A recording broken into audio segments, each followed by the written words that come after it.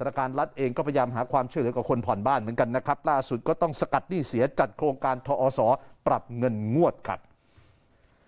นายชัดชัยสิริไลกรรมการผู้จัดการของธนาคารอาคารสงเคราะห์บอกว่า ตอนนี้ธนาคารก็เปิดโครงการทอสปรับเงินงวดนะฮะเปิดให้ลูกค้าเนี่ยปรับเงินค่างวดให้เหมาะกับความสามารถในการผ่อนชำระ หรือเหมาะสมกับรายได้ นานเป็นเวลา 3 ปีครับซึ่งก็มีลูกค้าที่มีคุณสมบัติเข้าร่วมโครงการไม่น้อยกว่า 3 0 0 0 0 0 บัญชีเลยนะฮะ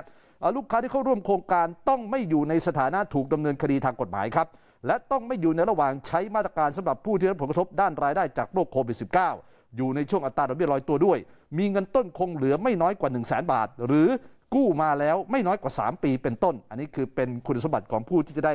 เข้าโครงการนี้นะครับโดยธนาคารจะคำนวณเงินงวดใหม่ในช่วง 3 ปีที่เข้าร่วมโครงการ ใช้อัตราดอกเบี้ยและจำนวนเงินต้นคงเหลือนับปัจจุบัน และระยะเวลาการผ่อนชำระที่เหลืออยู่ตามสัญญาเดิม โดยที่ลูกค้าไม่ต้องไปขยายระยะเวลาในการผ่อนชำระครับ ก็สามารถลงทะเบียนร่วมโครงการได้ที่แอปพลิเคชัน GHBR หรือว่า